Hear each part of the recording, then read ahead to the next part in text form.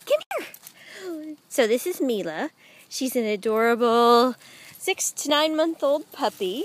She weighs 20 pounds and she is ready for her forever home. She loves to play with other dogs.